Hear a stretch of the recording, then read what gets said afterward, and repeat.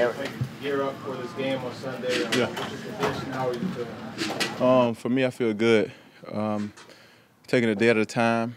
Um, moving around good though, but I feel great going into the game. Um, tomorrow we got to just do a little more, put a little more hay in the barn, and then I'll be ready to go.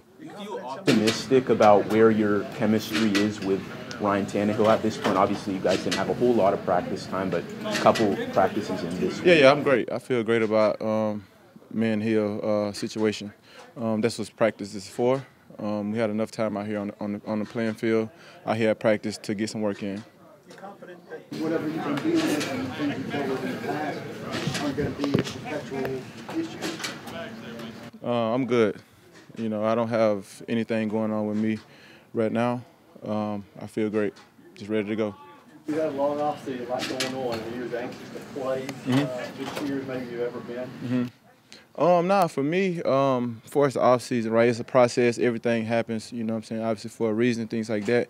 You handle it as it comes to you. Um, but for me, just staying ready, doing what I do in the off season, getting ready, and um, just coming in and play, you know, getting ready to play.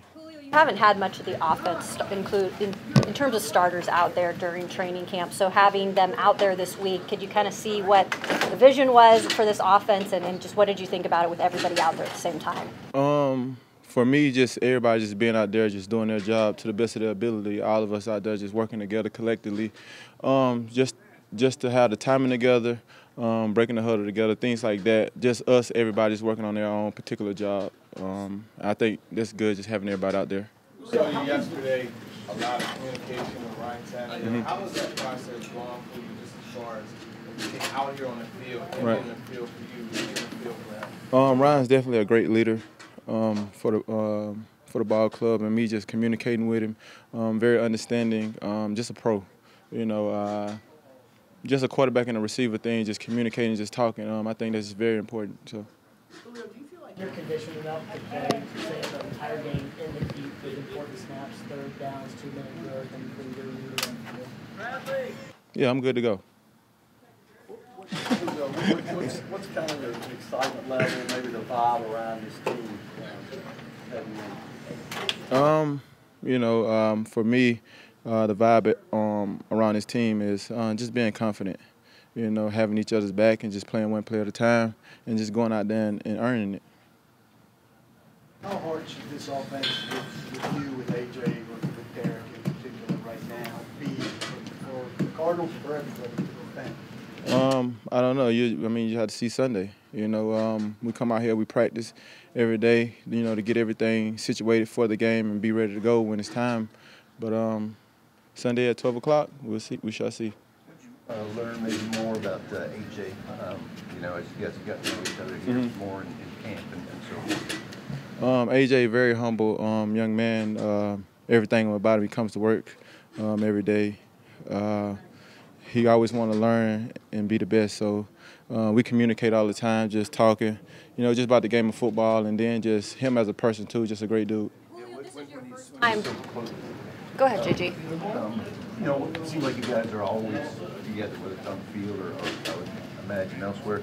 What are, you know, what are some of the, is it more football, like you say, or, or more non-football that, that you guys are going through? Um, at the end of the day, just um, you know, what I'm saying, uh, just a relationship um, in the building, out of the building, right? It's just having a guy that you can know, you can go to a bar, uh, whatever, and have a fight with that has your back. You know, it's just building that um, that confidence in one another and understanding that you're not out there by yourself, and I'm not, I'm not out there by myself. Personally, this is the first time you're playing with a new team at the NFL level. I mean, is there any kind of different emotions going into this this first game? Um, for mm, no, it's not really. Um, it's a new year. Every year is a new year for me. Um, if I was on the same team, it don't matter. Like I feel like every year is a new year, and I have to prove myself. You know, year in and year out, day in and day out, um, things like that, and just just the mentality that I have. Along those lines, what do you expect out of yourself this week one? Um, I'm just gonna go out there, um, week one for myself, and just go full full speed. You know, do what I do, see what I see. Um, just play football. I've been doing it for a decade. I mean, I don't think it's, it's gonna be a hat trick out there. You know, I just gonna go out there and just do what I do and see what I see. I know you've been doing some fishing here when you're, when you're able. How do they fight here compared to, to where you? Um, just a lot of fresh water here, um, a lot of ponds and different things like that. Um, it's cool, just relaxing. Um, just going out there and just creating patience. So uh, it's good. I, it's just it's very peaceful for me just to get away and just go fishing. What, what happened on the, on the one practice play that, that had you sit out and, and was that kind of more precautionary to stay out for that, that length of time or, or, you know, could you just not go? I don't know what you talking about. On the, uh, On the one play in the end zone way back, you know, that you kind of came down? I think he's talking about the first.